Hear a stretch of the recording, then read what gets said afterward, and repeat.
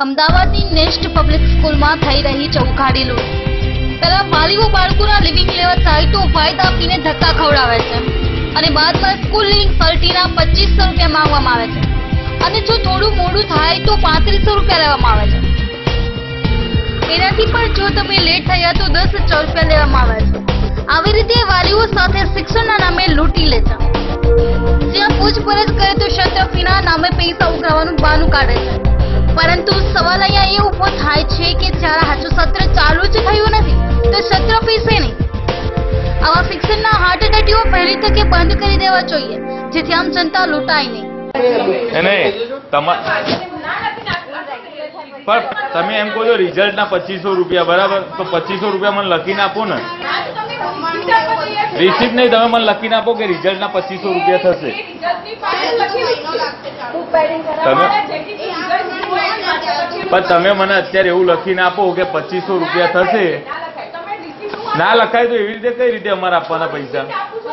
Receipt એમ નહીં પણ અમારા લેખિતમાં તમને લખીને તો આપ્યું છે પછી શું જોઈએ? ક્યાં આમાં ફી ક્યાં લખી ફી ના લખ્યું તો ફી ભરવી પડશે. પણ તમે મને તમારા કાગળ ઉપર લખીને આપો ને કે પચીસો રૂપિયા થશે. બધે નિયમ છે પૂછ્યો પછી સ્કૂલમાં જાઓ. તો પચીસો પાંત્રીસો ને આવા રૂપિયા ના હોય.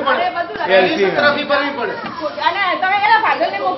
એ નહીં પણ પચીસો ને પાંત્રીસો ને આવા આવા રૂપિયા ના હોય એલસી ના તો ગરીબ માણસ મરી જાય. કોઈ ગરીબ માણસ નથી તમે નિયમ માનો તો પંદર તારીખ પહેલા આપી દો ખાલી એલસી લેવાના તમે પચીસો પાંત્રીસો રૂપિયા માંગો એટલે આ તો હદ થઈ ગઈ ઉઠો કહેવાય. તો લઈને ગયા ભરી ગયા છે. હા, એટલે બીજા ભરી ગયા એ જ ભૂલ કરી છે. પચીસો પચીસો વાળા કેટલા છે તમને? પણ એલસી ના પચીસો રૂપિયા હોય. સત્ર ફી છે સાહેબ, સત્ર ફી કહેવાય આને. તારીખ પંદર તારીખ પહેલા આપો તો એક રૂપિયા નથી રહેતા તમે કઈ નીતિ નિયમ સમજતા નથી પણ તમે હમણાં કહો છો ને કે એલસી લેવું હોય તો પચીસો રૂપિયા ભરવા પડશે. પંદર તારીખ પહેલા તમે છે. હવે એડમિશન ફોર્મનું કહો છો તો એડમિશન ફોર્મમાં તમે ફરીથી નવેસરથી એડમિશન ફી માંગો છો. નથી ભર્યું. એટલા માટે. ફોર્મ ભર્યું હોય તો હજી તો બી કોઈ કોઈ પેરેન્ટ્સ કારણસર રહી ગયું તો એનો મતલબ એવો જાઓ. કહું તો છું એના ફાધર ડ્રાઇવિંગમાં નોકરી કરે છે અરે હોતો છે એના ફાધરે દસ દાડા સુધી પંદર દાડા સુધી રોજ ધક્કા ખાધા એ પૂછો પેલા એના ફાધરને એ વખતે તો મારો ભાઈ જ છે. એ ડ્રાઇવિંગમાં નોકરી કરે છે. બરાબર એને ફોર્મ ભરવા આવવાનું કારણસર રહી ગયું. નર્સરી જુનિયર સિનિયર બધું અહીંયા કરાવ્યું છે. એના પછી એના સિવાયના પાંચથી સાત સ્ટુડન્ટ અમારા કુટુંબના અહીંયા છે. એમને મળી ગયા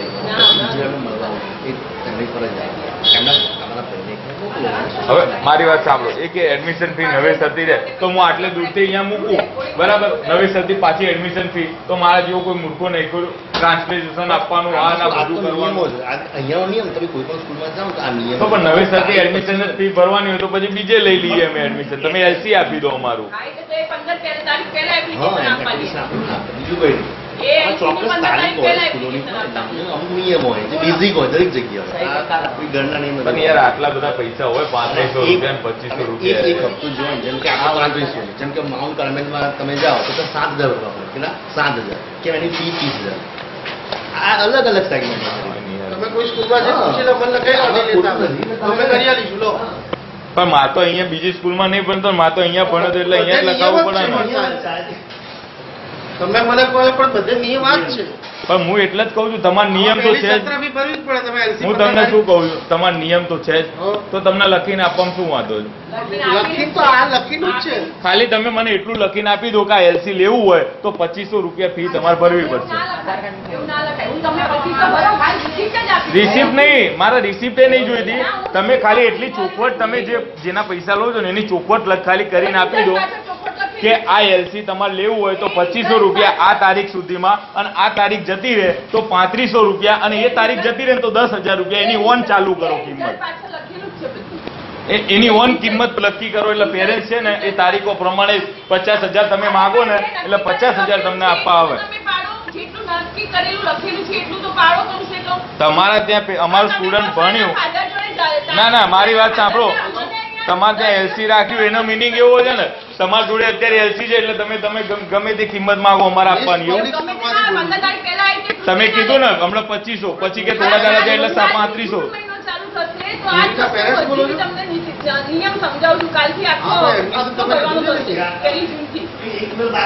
છો? છું.